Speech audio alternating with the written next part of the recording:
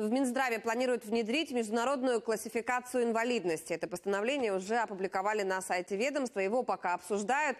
Оно позволит сделать медицину, образование и другие соцуслуги максимально доступными для людей с ограниченными возможностями, а также создать условия, чтобы они могли пройти реабилитацию и устроиться на работу. Сегодня в Киеве прошел первый форум инклюзивности. Его участники проверили около сотни столичных ресторанов, музеев, магазинов, театров, госучреждений. И только в 17 заведений были приспособлены для инвалидных колясок.